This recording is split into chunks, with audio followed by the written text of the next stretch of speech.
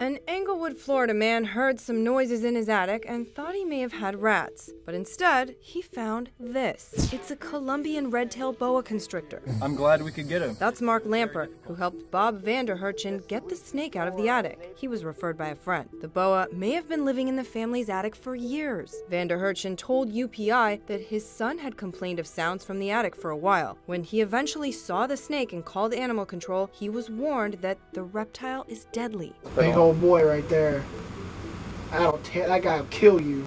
Huh? He'll kill you. That snake, that'll kill you. The six foot non venomous boa has been taken away to find a more suitable home. Vanderhurchen says he's not sure how it got into his home in the first place, but this could serve as a reminder to trim overgrown branches.